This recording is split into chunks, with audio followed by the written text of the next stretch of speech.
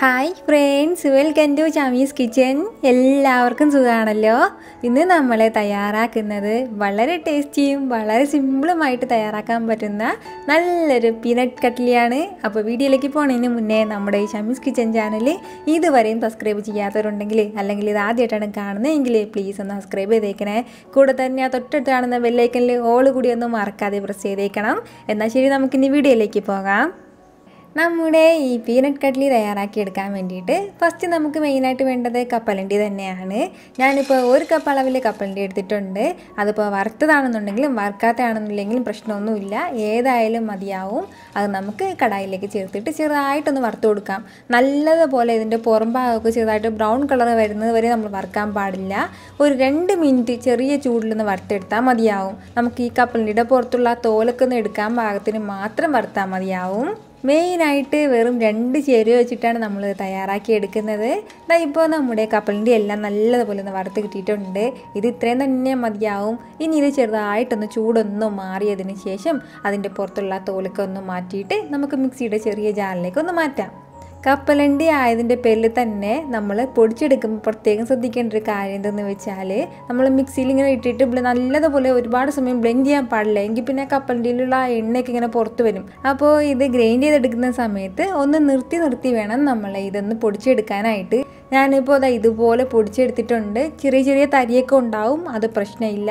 നന്നായിട്ട് സ്മൂത്തായിട്ട് വേണമെന്നുണ്ടെങ്കിൽ നമുക്കിത് അരിച്ചെടുക്കാം. അല്ലാന്നുണ്ടെങ്കിൽ ഇതിങ്ങനെ തന്നെ തയ്യാറാക്കാവുന്നേ ഉള്ളൂ. ഞാനിപ്പോൾ ഈ ഒരു രീതിയിൽ തന്നെയാണ് ഇത് തയ്യാറാക്കുന്നത്.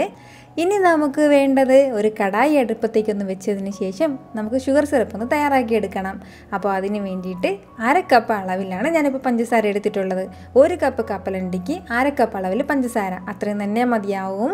ആ അര കപ്പ് പഞ്ചസാരയ്ക്കും കാൽ കപ്പ് അളവിലാണ് നമ്മൾ വെള്ളം വെക്കുന്നത്. ഈ ഒരു രീതിയിൽ വേണം നമ്മളിത് തയ്യാറാക്കാൻ വേണ്ടിയിട്ട്. കാൽ കപ്പ് അളവിൽ വെള്ളവും വെച്ചിട്ട് ഒരു രണ്ട് മിനിറ്റ് നമ്മൾ നല്ലതുപോലെ തിളപ്പിച്ചാൽ മതിയാവും. അപ്പോൾ തന്നെ പെട്ടെന്ന് തന്നെ നമ്മുടെ ഷുഗർ സിറപ്പ് ഒരു സ്ട്രിങ് കൺസിസ്റ്റൻസിയിൽ വരും. അപ്പോഴും മാത്രമേ നമ്മളിത് ഇതിലേക്ക് നമ്മുടെ കപ്പലണ്ടി പൊടിച്ച് ചേർക്കാൻ പാടുള്ളൂ. ഇതാ ഇപ്പോൾ നമ്മുടെ ഷുഗർ സിറപ്പ് ഒരു രണ്ട് മിനിറ്റ് ആയിട്ടുണ്ട് തിളയ്ക്കാൻ തുടങ്ങിയിട്ട്. ഇപ്പോൾ അത് ഇങ്ങനെ കയ്യിലിങ്ങനെ എടുത്ത് നോക്കുമ്പോൾ ഒരു സ്ട്രിങ് ഇങ്ങനെ വരും. ഇതാണ് ആ ഷുഗർ സിറപ്പിന്റെ കറക്റ്റ് പരുവം. ഈ ഒരു രീതിയായി കഴിഞ്ഞാൽ പിന്നെ നമുക്ക് നമ്മൾ പൊടിച്ച് മാറ്റി വെച്ചിരിക്കുന്ന നമ്മുടെ കപ്പലണ്ടി പൊടിയും കൂടെ ചേർത്ത് കൊടുക്കാം. എന്നിട്ട് നല്ലതുപോലെ നമ്മളത് മിക്സ് ചെയ്ത് കൊടുക്കണം. ഒരു മിനിറ്റ് വീണ്ടും നന്നായിട്ടൊന്ന് മിക്സ് ചെയ്ത് കൊടുത്താൽ മതിയാവും.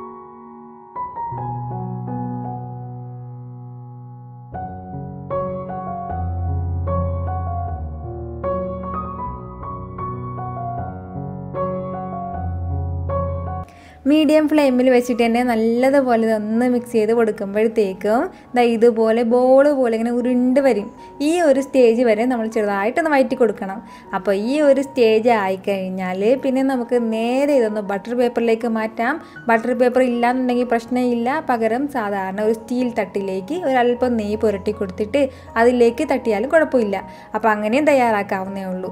എന്നിട്ട് നമ്മളൊരു പരന്ന ഒരു സ്പാച്ചില വെച്ചിട്ട് നല്ലതുപോലെ ഒന്ന് പ്രസ് ചെയ്ത് കൊടുക്കണം. അതിനുശേഷം ശേഷം ബട്ടർ പേപ്പർ ആയതിന്റെ പേരിൽ തന്നെ ഞാനിപ്പോൾ ചെറുതായിട്ടൊന്ന് ഫോൾഡ് ചെയ്ത് കൊടുത്തതിന് ശേഷം ഒരു ചപ്പാത്തി ഉരുള വെച്ചിട്ട് ചെറുതായിട്ടൊന്ന് ഇങ്ങനെ റോൾ ചെയ്ത് കൊടുക്കുകയാണ്. അപ്പോഴത്തേക്കും നല്ലൊരു ഷേപ്പിൽ കിട്ടും. ഞാനിപ്പോൾ ഈ രീതിയിലാണ് നമ്മൾ തയ്യാറാക്കി എടുക്കുന്നത്. ഇനി നമുക്ക് വേണ്ടത് ഇതുപോലെ ഒരു പിസ്സ കട്ടറോ അല്ലാന്നുണ്ടെങ്കിൽ സാധാരണ ഒരു കത്തി ഉണ്ടോ ചെറുതായിട്ട് നമുക്കൊന്ന് വരഞ്ഞു കൊടുക്കണം. ഒരു പത്ത് പതിനഞ്ച് സെക്കൻഡ് കഴിഞ്ഞതിന് ശേഷം മാത്രമേ വരഞ്ഞു കൊടുക്കാൻ പാടുള്ളൂ. പെട്ടെന്ന് തന്നെ ഇത് സെറ്റായി കിട്ടിക്കോളും. പീനട്ട് കട്ട്ലി എപ്പോഴും ഒരു ഡയമണ്ട് ഷേപ്പിലാണ് നമുക്കിത് വാങ്ങാൻ വേണ്ടി കിട്ടുന്നത്. വളരെ സിമ്പിളായിട്ടാണ് തയ്യാറാക്കി എടുക്കാനും. അപ്പോൾ ഇതുപോലെ ചെറുതായിട്ടൊന്ന് വരഞ്ഞു കൊടുത്തതിന് ശേഷം പിന്നെ നമുക്ക് ക്രോസ് ചെയ്തൊന്നുകൂടി വരഞ്ഞു കൊടുക്കണം.